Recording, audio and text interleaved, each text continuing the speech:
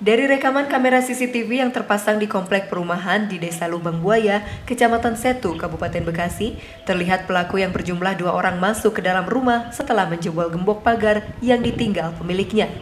Sementara dua pelaku lainnya menunggu di luar sambil memantau situasi lingkungan. Satu pelaku bahkan sengaja menyamar dengan memakai atribut ojek online saat beraksi.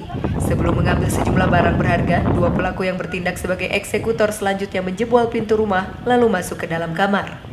Tak kurang dari 10 menit, pelaku yang berjumlah empat orang berhasil membawa barang berharga berupa kamera berikut dua lensa yang ada di dalam kamar. Barang hasil curian kemudian dimasukkan ke dalam tas yang telah disiapkan para pelaku. Selain kamera, para pelaku juga menggasak dua harddisk senilai lebih dari 2 juta rupiah. Pelaku kemudian kabur menggunakan dua sepeda motor ke arah kecamatan Setu.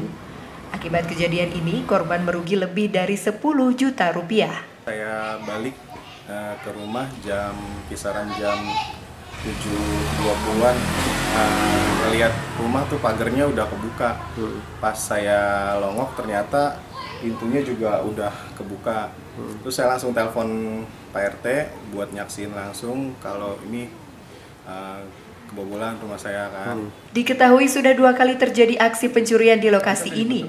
Umumnya para pelaku beraksi di siang hari saat ditinggal pemiliknya keluar rumah. Minimnya penjagaan dari petugas dan masyarakat setempat diduga menjadi pemicu bagi kawanan maling leluasa menjalankan aksinya. Warga berharap polisi bisa mengejar para pelaku pencurian. Amarullah, Badar TV, Bekasi.